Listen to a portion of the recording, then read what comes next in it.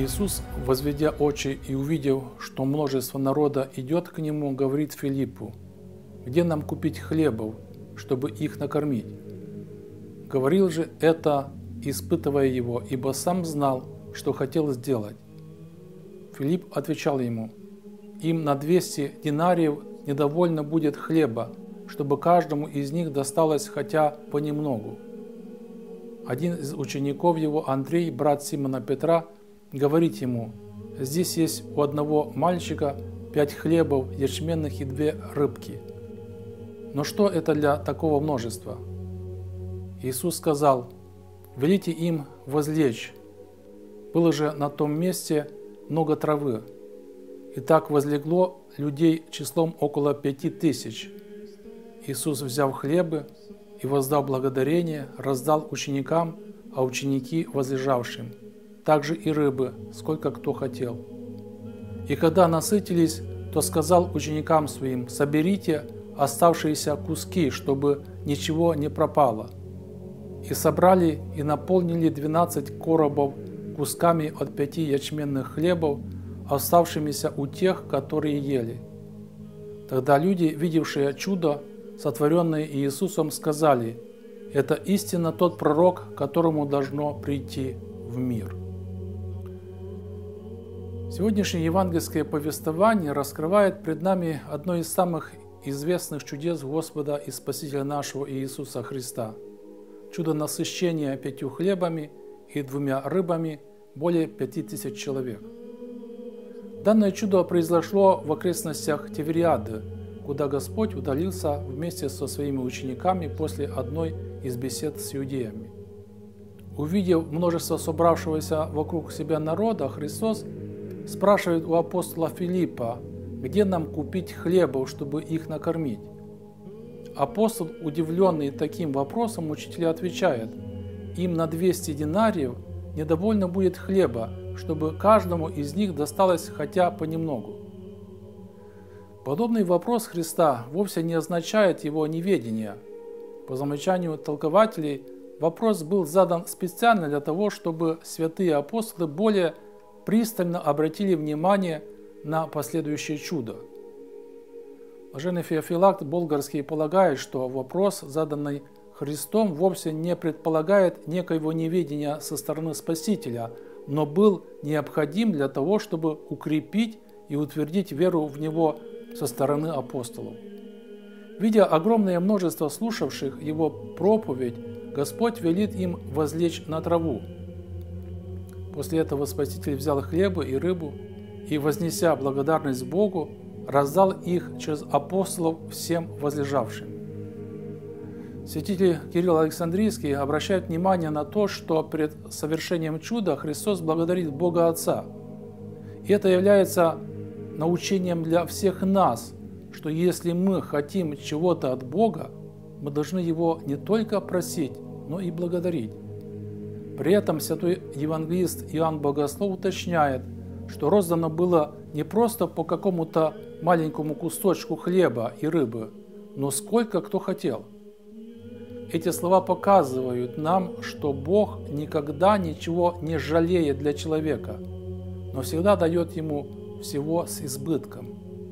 Когда же все насытились, Господь повелел апостолам собрать оставшиеся от этой чудесной трапезы, дабы ничто не пропало, и в итоге собранного оказалось 12 полных коробов. 12 полных коробов – остатков от пяти небольших ячменных хлебов. Святитель Иоанн Златоуст отмечает, что количество коробов оставшегося хлеба соответствует количеству ближайших учеников Христа Спасителя, и это вовсе не случайно. Господь велит апостолам собрать оставшиеся от умноженного чудесным образом хлеба для того, чтобы прежде всего именно в их сознании отложилась память об этом чуде, и эта память помогла им в дальнейшем не утратить веру во Христа. Весьма важным моментом в сегодняшнем чуде является то, что по сути собравшийся вокруг Христа в пустыне народ не ждал никакого чуда.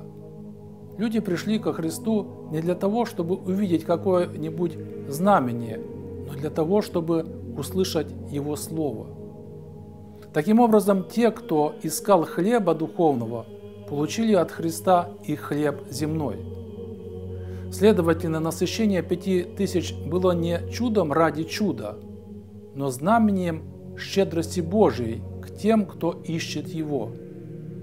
По словам блаженного Феофилакта Болгарского, не сытость искал народ, а благовествование, и потому Христос, утолив великую духовную жажду, людей не забыл и о малых земных их нуждах.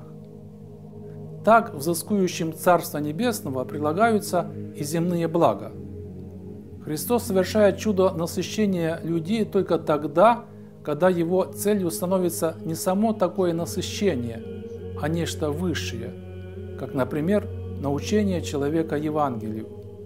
Следовательно, мы должны помнить, что на первом месте у нас всегда должна быть забота о душе, и только потом о теле.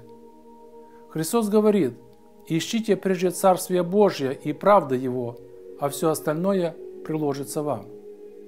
Людям, которые идут за Христом и на первое место ставят следование Слову Божью, прилагаются и те материальные блага, которые необходимы для того, чтобы жить на этой земле. Если человек главной целью своей жизни ставит, по слову преподобного Серафима Саровского, стяжание даров Святого Духа, а не стяжание материальных благ, тогда материальные блага естественным образом прилагаются. Опыт многих людей, которые целью своей жизни сделали следование за Христом, показывает, что материальная составляющая жизни, во-первых, вторична, а во-вторых, так или иначе, прилагается без каких-либо особых усилий. Она прилагается человеку для того, чтобы он мог спокойно и беспрепятственно исполнять свое служение. И происходит это чудо со многими из нас. Господь дает нам все необходимое для жизни, дает так, что у нас остаются избытки, которыми мы можем поделиться с другими людьми. Господь Иисус Христос учит нас своими словами, делами, чудесами, чтобы мы прежде всего следовали за Ним – чтобы в первую очередь заботились об исполнении Его заповедей и жизнь свою воспринимали как служение Ему.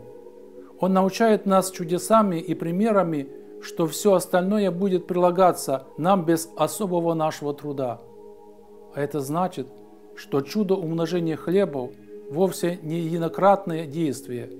Оно будет продолжаться как в нашей жизни, так и в жизни многих других христиан лишь бы только мы дали Богу возможность проявить такое чудо в нашей жизни.